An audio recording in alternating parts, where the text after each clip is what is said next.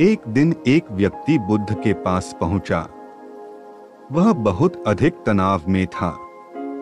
अनेक प्रश्न उसके दिमाग में घूम घूम कर उसे परेशान कर रहे थे जैसे आत्मा क्या है। आदमी मृत्यु के बाद कहा जाता है, सृष्टि का निर्माता कौन है? स्वर्ग व नरक की अवधारणा कहाँ तक सच है और ईश्वर है या नहीं? उसे इन प्रश्नों के उत्तर नहीं मिल रहे थे। जब वह बुद्ध के पास पहुँचा तो उसने देखा कि बुद्ध को कई लोग घेर कर बैठे हैं। बुद्ध उन सभी के प्रश्नों व जिज्ञासा का समाधान अत्यंत सहज भाव से कर रहे हैं।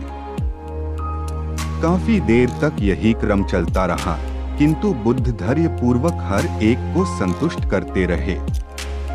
बेचारा व्यक्ति वहाँ का हाल देखकर परेशान हो गया। उसने सोचा कि इन्हें दुनियादारी के मामलों में पढ़ने से क्या लाभ?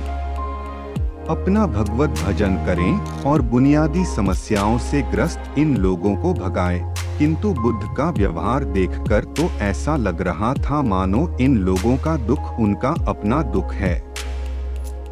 आखिर उस व्यक्ति ने पूछ ही लिया महाराज, आपको इन सांसारिक बातों से क्या लेना देना? बुद्ध बोले, मैं ज्ञानी नहीं हूँ और इंसान हूँ।